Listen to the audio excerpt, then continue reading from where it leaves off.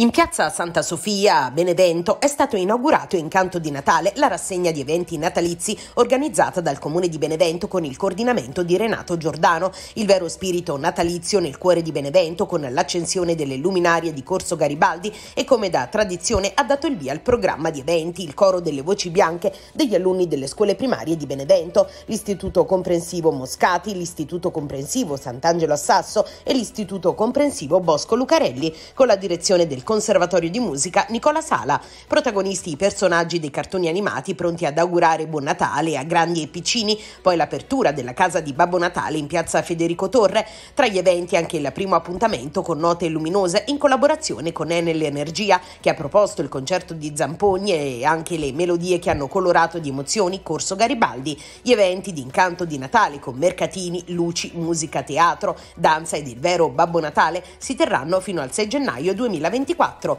Ascoltiamo le interviste realizzate da Alfredo Salzano per TV7 al sindaco di Benevento Clemente Mastella e alla console generale degli Stati Uniti d'America a Napoli Tracy Roberts Pounds. Inizia ufficialmente il Natale che in America è molto sentito. Eh, in America è molto sentito ma anche qui in Italia è molto sentito. Io ovviamente qui a Benevento, Benevento sentito di più. Sono orgoglioso e anche onorato di stare qui all'invito del sindaco per vedere questi bimbi che sono pieni di gioia. È stata una bella serata e grazie, grazie molto per l'invito. È un bel messaggio di pace che si lancia in questo momento di guerre globalizzate. È importantissimo che noi alleati, Italia e Stati Uniti, ancora lottiamo ogni giorno per pace e per un sviluppo eh, e un mondo più eh, bello ogni giorno. Dicevo un messaggio internazionale che parte da Benevento sul fronte anche della pace, approfittando del Natale e di quelle che saranno le future generazioni, i bambini. Beh sì, eh, credo bisogna operare per la pace in tutte quante le condizioni, in tutti i territori. E poi stasera c'è un tocco diciamo, artistico con la presenza del console qua da noi, internazionale e bisogna pacificare, credo gli Stati Uniti abbiamo fatto tanto, l'Italia anche e questo rapporto di amicizia c'è tra Italia e Stati Uniti deve essere conservato, conservato come è stato, non dobbiamo mai dimenticare quello che hanno fatto loro per noi nei momenti passati, per l'emigrazione nostra di là, eh, insomma dopo il fascismo sta di loro incoraggiarci nella disciplina della democrazia. E stasera sono contento che per conto del governo americano sia la console amica della, nel nostra, nella nostra città. Con un'apposita ordinanza il sindaco di Benevento Clemente Mastella ha disposto per la giornata del 2 dicembre la chiusura della villa comunale, dei parchi cittadini e del cimitero comunale. L'atto è motivato dall'allerta della protezione civile per venti forti con locali e raffiche dalle 3 alle 21 del 2 dicembre. Il sindaco invita sempre la cittadinanza a prestare attenzione in prossimità di alberi e strutture verticali per l'eventuale caduta di rami, alberi, pali, segnaletica o impalcature e in ogni caso a segnalare l'eventuale stabilità precaria di tali elementi anche in situazioni ordinarie, dandone comunicazione ai numeri di emergenza 112, 113 e 115. La giunta comunale, presieduta dal vice sindaco Francesco De Pierro in sostituzione del sindaco Clemente Mastella, ha approvato il progetto di fattibilità tecnico-economica per la riqualificazione funzionale, energetica e l'adeguamento sismico degli immobili ex Orsoline ed ex Malies. Si tratta, spiega l'assessore alle opere pubbliche Mario Pasquariello, nell'illustrare il provvedimento di uno dei progetti più qualificanti dell'amministrazione Mastella. Con l'approvazione odierna potremmo bandire l'appalto integrato, mettendo a gara contestualmente progettazione esecutiva e lavori, con quasi 16 milioni di euro del programma Pinqua, l'intera area di Piazza Commestibili sarà riqualificata. L'ex Malies diventerà polo d'eccellenza per esaltare le eccellenze enogastronomiche del territorio, mentre per il complesso ex Orsoline il progetto prevede agli ultimi due piani la realizzazione di alloggi di edilizia residenziale sociale con canoni accessibili per le fasce più vulnerabili, mentre il piano terra sarà dedicato al mondo accademico delle imprese e della ricerca con spazi di coworking e contaminazione funzionale. L'amministrazione di Clemente Mastella sarà quella che farà farà risorgere a nuova vita l'area di Piazza Commestibili, così conclude l'assessore. Alle ore 12 del primo dicembre si è chiuso il termine per la presentazione delle liste dei candidati al Consiglio provinciale di Benevento per le elezioni del 21 dicembre 2023.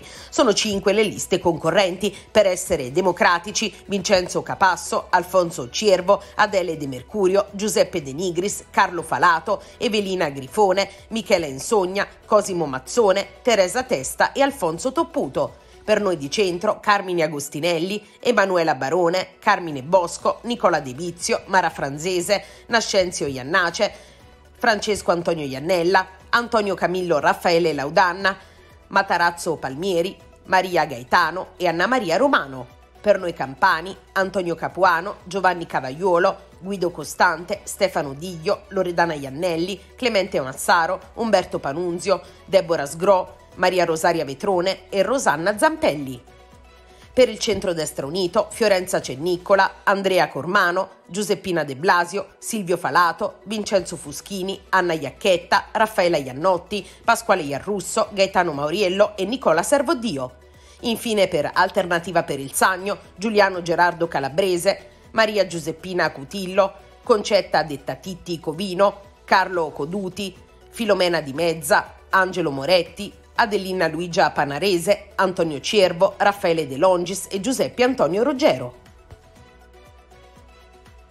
Con tre liste formate da sindaci e amministratori rappresentativi di tutti i comprensori della provincia, puntiamo a confermare e rafforzare la maggioranza al Consiglio provinciale di Benevento. La leadership di Clemente Mastella si è confermata anche in questa occasione, riferimento saldo per molti amministratori e si è confermato uno schema di alleanze collaudato e vincente. In nome di una visione di Gasperiani e di apertura politica abbiamo garantito ai nostri alleati un leale e concreto supporto politico-elettorale perché l'importanza di una squadra e di un modello di governo vincente non sia subordinato all'aritmetica elettorale.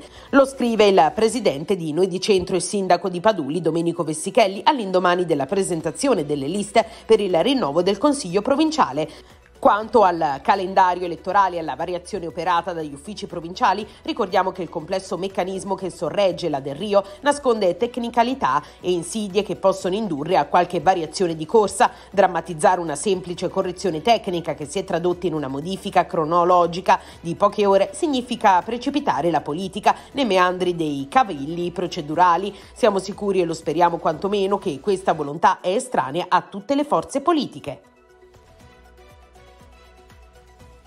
La sala congressi dell'ospedale Sacro Cuore di Gesù Fatemene Fratelli di Benevento ha ospitato la presentazione ufficiale alle autorità politiche locali e regionali alla cittadinanza del programma di Oncology Network Center. Fanno parte della rete strutture ospedaliere e centri ben radicati a livello territoriale come i quattro ospedali della provincia religiosa di San Pietro e dell'Ordine Ospedaliero di San Giovanni di Dio dei Fatemene Fratelli, la casa di cura Villa Maria di Mirabelle Clano, il centro medico Delta, Tecnobios, Genus Biotech. Si tratta di un team multidisciplinare di professionisti sanitari, tra cui oncologi, radioterapisti, chirurghi oncologi, radiologi, biologi molecolari, nutrizionisti, patologi e infermieri specializzati. Alla presentazione ufficiale di Oncology Network Center sono intervenuti il padre superiore dell'ospedale Fatemene Fratelli di Benevento, Fra Lorenzo Antonio Gamos, il sindaco di Benevento Clemente Mastella, il rettore dell'Unisagno Gerardo Canfora, il dottor Ugo Trama, responsabile dell'unità politica del farmaco e dispositivi presso la Direzione Generale per la tutela della salute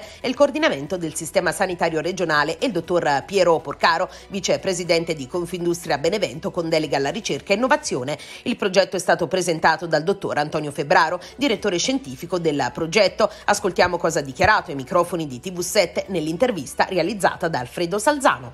È un momento importante per questo territorio, lo dicevo anche prima ai colleghi, perché presentiamo alla, alle autorità politiche locali, anche regionali, questo nostro progetto, che è un progetto fondamentalmente di sviluppo e ricerca nell'ambito diciamo, di, di più strutture che si occupano di sanità e di salute, un progetto di sviluppo e di ricerca secondo i canoni eh, dettati anche dalle norme del governo clinico. Noi vogliamo con questo, con questo programma di sviluppo e di ricerca dare il nostro contributo al miglioramento della performance assistenziale nelle nostre zone che sono delle aree interne e indirettamente contribuire anche a ridurre nei limiti del possibile con un piccolo contributo anche da parte nostra la migrazione sanitaria verso, verso altre zone.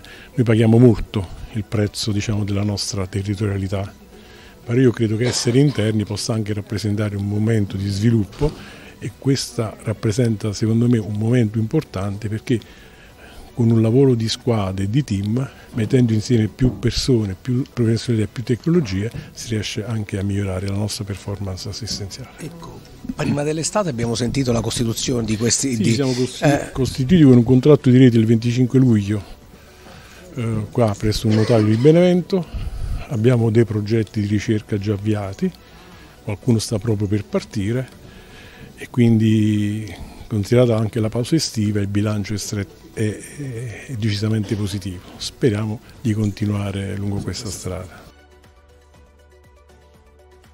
Zaira Mainella ha prodotto il suo ultimo lavoro dal titolo L'acqua a memoria. Per l'occasione abbiamo ascoltato l'autrice.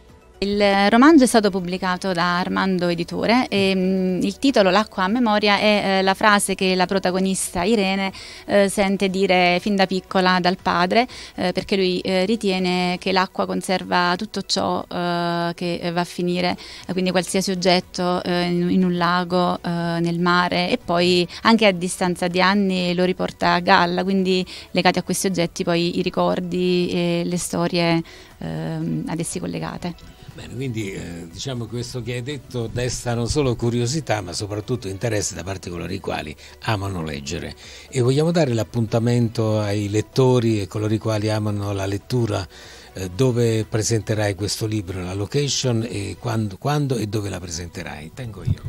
Um, allora, eh, l'appuntamento è uh, domenica 3 dicembre alle 17 alla libreria Barbarossa, uh, sarà presentato dalla giornalista Elide Apice con letture di Alessandra Verusio. Suppongo che questo libro abbia anche un costo, ma no, non lo diciamo questo, però possiamo dire dove uno vuole reperirlo. Sì, certamente, in libreria o anche online. In tutte le librerie o particolarmente alla libreria Barbarossa? Alla libreria Barbarossa ci sono già delle copie e nelle altre si possono ordinare. È la nuova percorsa elettrica. Yes. Ha una grande autonomia? È divertente da guidare. Spinge forte. Si ricarica al volo? Davvero? Yes, of course. Vieni a conoscere la nuova Opel Corsa. Concessionaria Sara, zona industriale, Benevento. Per lo sviluppo di Benevento e del Sagno è una giornata estremamente positiva. Dopo mesi di costante interlocuzione e assiduo impegno, il commissario di governo ZES, Giosi Romano, ha firmato l'autorizzazione unica per l'insediamento Solitec a Ponte Valentino. Così la presidente dell'ASI di Benevento, Luigi Barone, con questo provvedimento l'azienda potrà avviare lavori, potrà aprire un importante cantiere per il territorio, 50 milioni di euro di investimenti, oltre 300 assunti a regime. Ringrazio l'azienda con tutto il management lituano i dirigenti italiani per aver scelto Benevento, le istituzioni locali, regionali e nazionali per averci accompagnato nel processo di attrazione dell'investimento con l'approvazione del contratto di sviluppo, il commissario romano per aver apposto la firma all'autorizzazione che completa l'iter burocratico. È stato presentato in prefettura il corso di alta formazione sulla violenza domestica di genere contro le vittime vulnerabili, organizzato dalla Procura della Repubblica di Benevento e dalla prefettura, unitamente agli enti di istituzioni che partecipano al tavolo tecnico interistituzionale per la prevenzione e il contrasto della violenza di genere nel territorio provinciale. L'iniziativa articolata in otto incontri itineranti avrà avvio il 4 dicembre con i primi due incontri presso la prefettura e si concluderà nel mese di giugno 2024. La programmazione delle citate attività si inserisce nell'ambito del protocollo d'intesa sottoscritto tra i vari attori istituzionali per la realizzazione di un sistema integrato di azioni operative dirette a rafforzare la tutela delle donne, dei minori e delle altre vittime vulnerabili. TV7 ha incontrato il procuratore della Repubblica Aldo Policastro e il prefetto di Benevento Carlo Torlontano. Beh, il messaggio è quello che è venuto fuori dal tavolo interistituzionale che poi ha dato vita a questo corso di alta formazione. Era un'iniziativa che era stata già messa a punto un paio di mesi fa e, e ora è quanto mai attuale alla luce degli ultimi avvenimenti. Un'iniziativa che è nata dall'esigenza di una formazione comune e quindi di dare una risposta uniforme da parte di tutti gli attori del tavolo a questo fenomeno come approccio eh, al fenomeno stesso, per evitare alcuni fenomeni come anche quello della vittimizzazione secondaria. Per noi è importantissimo perché diamo il segnale della continuità dell'impegno su questo tema che eh, non può lasciarsi, lasciarsi dire, nella, eh, nelle parentesi delle celebrazioni, ma è un impegno quotidiano, un impegno eh, anche ehm, molto eh, gravoso ma che dobbiamo affrontare in termini di formazione, una formazione che non sia soltanto specialistica del settore ma che si allarga agli aspetti giudiziari ma anche agli aspetti sociali, aspetti psicologici, aspetti di linguaggio perché il tema fondamentale è formarsi meglio per agire meglio ma avendo eh, competenze molto ampie non soltanto specialistiche del settore giudiziario. Guarda, il corso consiste in otto moduli, cioè vuol dire otto lezioni, eh, in ogni lezione ci sono tre o quattro relatori, eh, le lezioni e i corsi, moduli svariano dalla, eh, dagli stereotipi di genere all'intervento sanitario, al giudiziario civile e penale, abbraccio tutto il mondo della rete di eh, contrasto alla violenza di genere. Ma io l'appello alle donne vittime di violenza lo faccio sempre che è quello di denunciare quando ci sono questi segnali. Io l'appello lo faccio anche agli uomini che come dire, è giunto il momento di dire basta, è giunto il momento di eh, smetterla, è giunto il momento di tutti quanti fare uno sforzo. Io dico, quando dico tutti quanti vuol dire che anche noi siamo intrisi di stereotipi di genere e di pregiudizi. Tutti quanti è necessario che diciamo basta a questi stereotipi di genere e ai pregiudizi. Presso il Tribunale di Benevento, la terza sezione penale, presieduta dal giudice Sergio Pezza, con Perrotta e Murgo, accogliendo le richieste dell'avvocato Vittorio Fucci, ha assolto il sindaco di San Giorgio Lamolara e consigliere provinciale di Benevento Nicola Di Vizio al responsabile dell'ufficio tecnico del comune Luigi Castiello. Entrambi sono stati assolti per non aver commesso il fatto. Nel mirino degli inquirenti sono finiti i fatti che vanno dal febbraio del 2014 al settembre del 2017. Le accuse erano a vario titolo di abuso d'ufficio, missione in atti di ufficio, falso ideologico e omissione di lavori a carico dei diversi imputati nel processo. Il PM aveva chiesto la condanna a nove mesi di reclusione per entrambi gli imputati. La parte civile, rappresentata dall'avvocato Crisci aveva chiesto la condanna a nove mesi di reclusione, la condanna al risarcimento dei danni, oltre che alle spese legali. Il collegio invece, accogliendo la tesi dell'avvocato Vittorio Fucci, ha assolto il sindaco di San Giorgio Lamolara e il consigliere provinciale di Benevento, Nicola De Vizio, e il responsabile dell'ufficio tecnico Luigi Castiello per non aver commesso il fatto.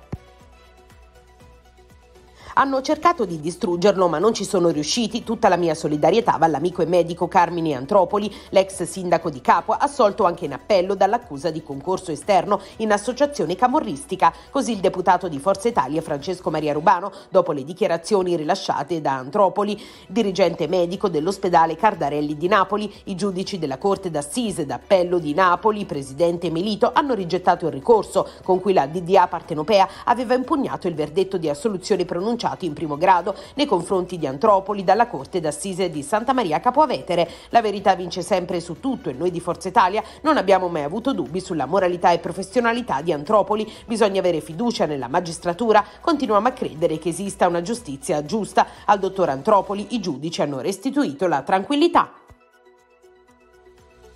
Come da tradizione, lunedì 4 dicembre il Comando Provinciale dei Vigili del Fuoco di Benevento festeggerà Santa Barbara, la patrona del Corpo Nazionale dei Vigili del Fuoco. La cerimonia si svolgerà nella sede centrale di Benevento in un clima di semplicità e sobrietà e prevederà il programma che partirà alle ore 10 con l'apertura sede accoglienza delle autorità e degli invitati. Alle 10.15 la celebrazione della Santa Messa officiata da Monsignor Felicia Crocca. Alle 11.15 il saluto ai presenti e la consegna delle benemerenze.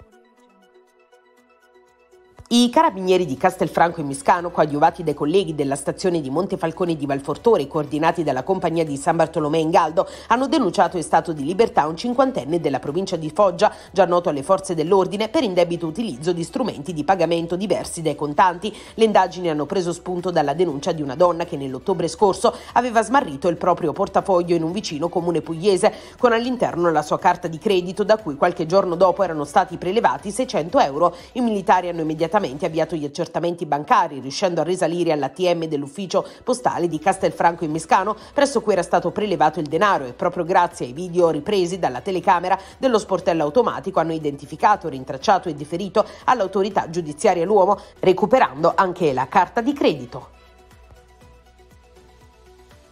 La Guardia di Finanza del Comando Provinciale di Benevento, nell'ambito dei servizi di controllo riguardanti traffici e commercializzazione di prodotti contraffatti e non sicuri, ha sottoposto a sequestro 24.000 prodotti privi delle necessarie informazioni previste dal Codice del Consumo. I militari della tenenza di Solopaca hanno sottoposto a controllo un esercizio commerciale ad Ugenta, dove hanno accertato che erano pronti per essere commercializzati 24.000 addobbi natalizi. I prodotti non erano marchiati per la comunità europea. Il responsabile dell'attività commerciale è stato segnalato alla Camera di Commercio per le violazioni del decreto legislativo e gli è stata irrogata la sanzione amministrativa di 4.032 euro. La merce è stata sottoposta a sequestro. Data l'escalation di eventi che ultimamente stanno caratterizzando la casa circondariale di Benevento, il segretario generale del SINAP, Roberto Santini, annuncia l'incontro con il sindaco della città di Benevento il prossimo 5 dicembre alle 11.30 insieme al coordinatore nazionale SINAP Fernando Mastrocinque.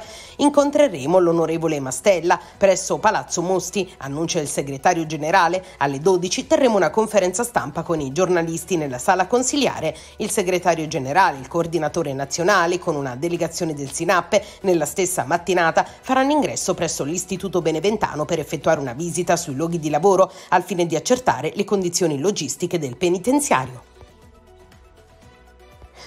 Si è svolta presso il Tribunale di Benevento la mostra dei lavori delle scuole del territorio che hanno partecipato al contest Lo sguardo di chi ha visto, indetto dal Comitato Pari Opportunità degli Avvocati di Benevento. L'iniziativa si pone in continuità con il lavoro avviato lo scorso anno nell'ambito del progetto Invisibilia, finalizzato a tenere alta l'attenzione sul fenomeno della violenza contro le donne, ad accendere una luce su aspetti ancora in ombra e poco esplorati. Alex, tu hai già deciso cosa regalare per Natale? Sono ancora un po' indeciso. Ciao ragazzi! Ciao Sara! Di che parlate? Dei regali di Natale. Tu quest'anno cosa regalerai ai nonni Chizzi? Pantofole, bagnoschiuma dopo barba? No, ma sono cose troppo banali. Io regalerò la serenità. Cioè? Cioè? Dei voucher dell'ASDIM che sono dei buoni per delle visite specialistiche. Quindi anche noi regaleremo serenità. Ottima idea!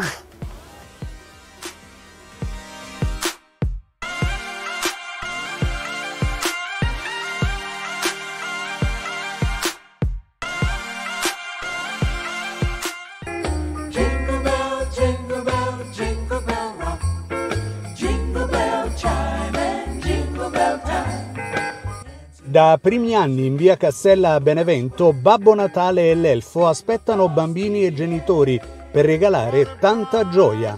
Sabato 2 dicembre dalle 10.30 alle 12.30 e nel pomeriggio dalle 16.30 alle 18.30. Primi anni, un Natale in armonia, tutto da vivere.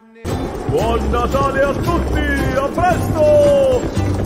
Oh, oh, oh,